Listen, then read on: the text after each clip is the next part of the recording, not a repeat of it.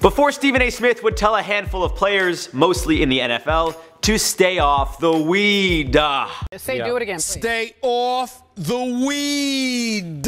It's stay off the weed. And you can't stay off the weed. Before Stephen A. Smith would be known for constantly debating his former co-host Skip Bayless on pretty much everything and anything he could.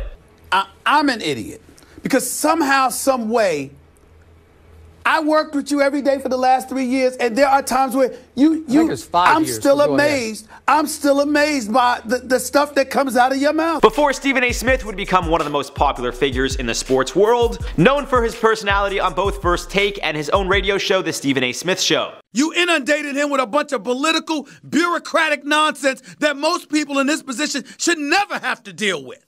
Love him or hate him, Stephen A. Smith has become a polarizing figure in the sports world. From growing up in Queens, New York to getting a college basketball scholarship and eventually becoming one of the most talked about sports analysts out there, Stephen A. has made quite a name for himself. Starting off writing for his college paper calling for his coach to retire, before eventually working for the Philadelphia Inquirer and becoming the most well-known host of ESPN's First Take, Smith is quite often talked about for using the phrase blasphemous to describe plays that to Smith seemed completely out of whack, calling Aaron Rodgers a bad man, and of course, his hatred for the Dallas Cowboys, which I could easily get behind, because they suck. Go Eagles. In fact, someone even made a song about Smith's hatred for the Cowboys. Mediocre team and Big D. That's what makes this funny. What's going on guys, my name is Jarred Bronstein and welcome back to Before They Were Famous. In our last few videos, we covered the 2K GOAT Chris Smoove as per your requests, so we figured you guys wanted more coverage on the basketball world. We've done a ton of videos on basketball players and players who just got drafted, so check out all of those videos. Keep sending your requests in the comments down below as always, and today's trivia question is what soap opera did Smith make his acting debut on? You guys gotta let me know in the comments down below. I'll answer the question at the end of this video, but let's get on with the show.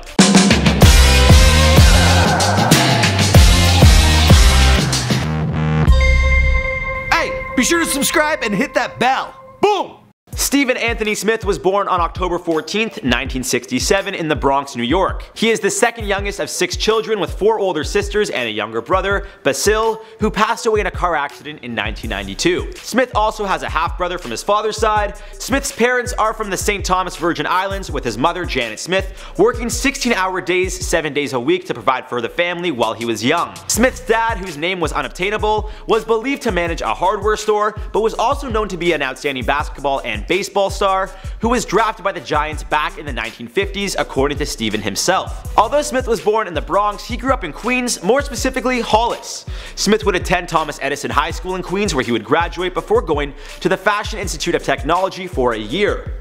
Growing up, Smith would be an avid sports junkie watching football and baseball religiously while playing basketball in the New York streets. His childhood hobby of playing ball would eventually lead to a scholarship at Winston-Salem State University, which would be the reason for his transfer after just one year at the Fashion Institute. This man was a bona fide scrub. He can't play. No disrespect whatsoever, but I'm sorry to call, tell everybody the truth. The man cannot play the game of basketball. Apparently Smith is actually a pretty good basketball player. I mean, if he got a scholarship, he couldn't have been all that bad. I did try to find the man's college stats, and unfortunately couldn't really find anything. Granted, he played back in the 80s, but still, it shouldn't be that hard to find some stats on the guy.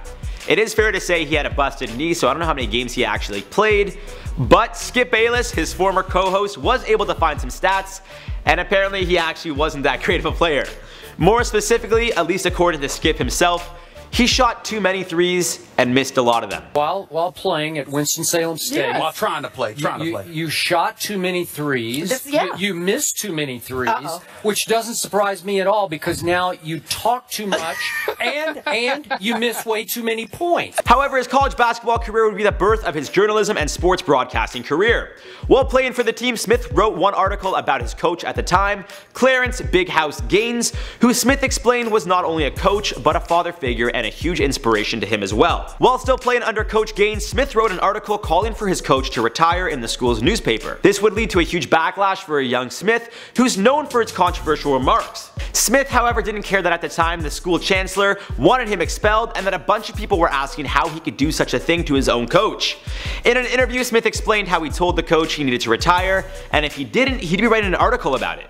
Coach told him to go right ahead, and speaking on the backlash of the situation, Smith told the Oklahoman in a phone interview, I quote, Coach Gaines was the one that stepped up and said, leave that boy alone. I told him it was okay for him to write. And I didn't get to tell them because my attitude was if you don't know how close he and I were and how much I love that man, then you don't know me at all and it's not even worth the time of day and I'm not going to explain it. In a tribute to the late coach, Stephen A only had kind things to say. I love him dearly. There is no man on this planet earth that I admire more than he. Um, I look up to him, I respect him, I love him. He's a special man. Smith's big break came from his professor at Winston-Salem State, who also worked as an editorial page editor for the Winston-Salem Journal. John Gates approached Smith one day after class, claiming after reading his essay, he thinks Smith was born to be a sports writer. This would lead Gates to setting up an appointment with Terry Oberle, who at the time was the sports editor of the newspaper. After a brief 5-minute meeting, Smith was hired as a clerk in the sports department. About three weeks into his gig with the Winston-Salem Journal, Smith was given the assignment to do a story on the Wake Forest soccer team, who at the time were the third ranked team in the country. Without any knowledge on soccer, Smith went to the team's coach, Walt Chyzowych, and told him honestly he didn't know much about soccer, but he's trying to be a sports writer and this is incredibly important to him. The coach invited him back the next day, giving him access to him and his team to ask whatever questions Stephen needed to ask over the span of the next three days. With all this information, the paper was able to write a two-page story on the school's soccer program. According to Smith, I quote, after I wrote the piece, Terry Oberle called me into his office the next day and said congratulations, you are now the beat writer for Wake Forest Soccer. From there, my career took off. Now Smith would also write for the New York Daily News covering high school sports before he would eventually be hired by the Philadelphia Inquirer in 1994 as a writer. According to Smith himself, in his first 13 years there, he would be promoted a total of 9 times. It's quite impressive. He told the Oklahoman, I quote, I ultimately went from general assignment to beats on St. Joe's and Temple to backup writer to NBA writer to NBA columnist to ultimately in 2003 to general sports columns. That was ultimately my dream to be a columnist because I always knew that I wanted to have the license to express myself, my opinion as opposed to be restricted to just reporting.